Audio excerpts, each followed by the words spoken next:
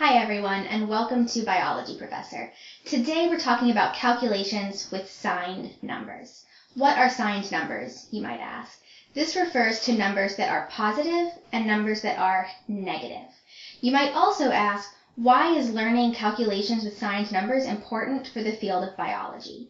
Well, it turns out it's important for several different scientific fields, biology, chemistry, physics, etc., and that is because there's a lot of math in these scientific fields. Places in biology where you might use calculations with signed numbers include converting between different temperature scales, like converting between Fahrenheit and Celsius or back again, and also doing other calculations, like calculations with specific heat.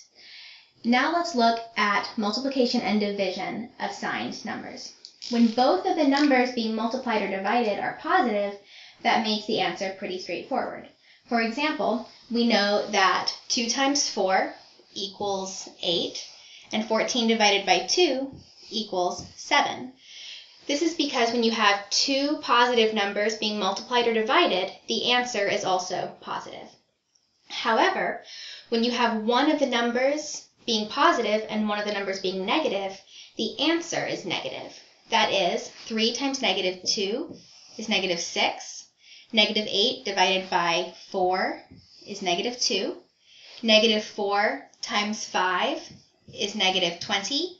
And 18 divided by negative 3 is negative 6. So you see in all of these cases, you have one positive number and one negative number being multiplied or divided, and the answer is negative. It does not matter which of these numbers is positive or negative. Now, when both numbers being both multiplied or both numbers being divided are negative, the answer is positive. That is, negative 3 times negative 4 is a positive 12, and negative 20 divided by negative 5 is a positive 4.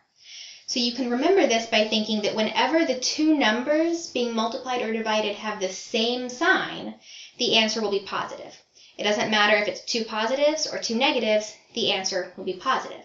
Whenever the numbers being multiplied or divided have different signs, then the answer will be negative. So that is multiplication and division with signed numbers.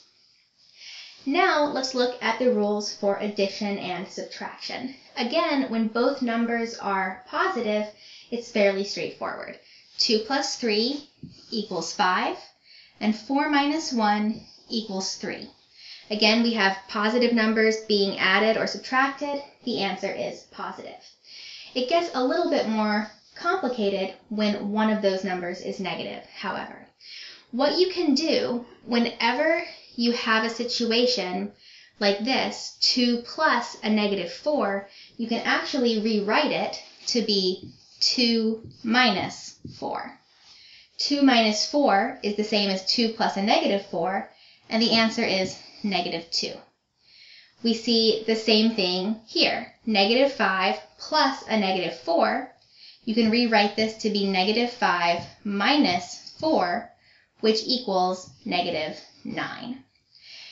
Now, it's a little easier when the center number is just a positive and the number being added is a positive.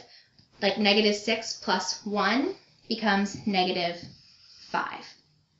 I do want to point out something special here, and that is that in all of these cases, the answer has the same sign as the larger number. So we look here, the larger number is positive, the answer is positive. The larger number is negative, the answer is negative. The larger number is negative, the answer is negative. And here both numbers are negative, so of course we have a negative answer. With subtraction, you can also, whenever it's minus a negative, minus a negative, like we see in two of these situations, you can actually turn them into pluses. So for example, 6 minus a negative 2 can be written as 6 plus 2, which equals 8. And negative 7 minus a negative 3 can be rewritten as negative 7 plus 3, which equals negative 4. Again, a little easier when there's just a minus a plus in the middle. Negative 5 minus 2 equals negative 7. And again, we see that same rule hold true.